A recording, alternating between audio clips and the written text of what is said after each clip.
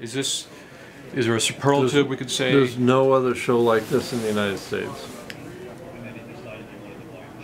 This is a place where the quality of the people that come through the aisles just blows the first year exhibitors away. And people that have exhibited all and been in shows all of their lives mm-hmm. will say, oh my God, this is the best group of attendees in a show that I've done. My name's uh, James Allen, and I sell uh, brokerage boats for Morris Yachts since 2006. Uh, so I worked with Morris through the recession. Uh, brokerage sales, I would say, were less affected uh, by the recession, although we certainly saw a dip. Uh, new boat sales certainly were affected, although uh, we've always felt proud that we're uh, still here after the recession, whereas a lot of companies uh, are not.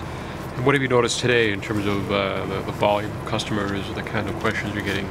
Uh, it, it's fairly typical. Uh, this show, uh, I would say, is as much about reaching out to others in the industry with you as much as customers and connecting with them. You see a lot of uh, old uh, friends and faces from throughout the industry. Uh, a lot of customers of ours who own our boats uh, come through to say hello. Uh, some new customers asking questions. This is a bunch of friends together, and a lot of business goes on in the aisles. You know, people that are really crazy about boats seem to not mind to come to Maine. Do you have an estimate of how many members of the public have come to the show?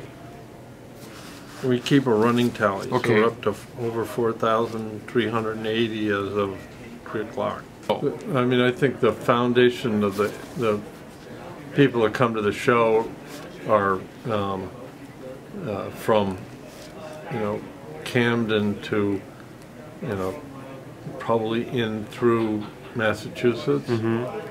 Even Rhode Island. Yeah. And um, how, how the, uh, how's the, uh, the sales in terms of number of people visiting? People are doing really well and they're pretty excited and, you know, this is a major victory. Can you consider what the cost of gasoline is? Mhm.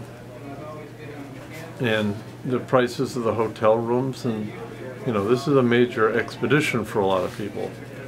And an investment in coming up here. So um, to hold our own and do a little bit better, I think is a pretty good sign.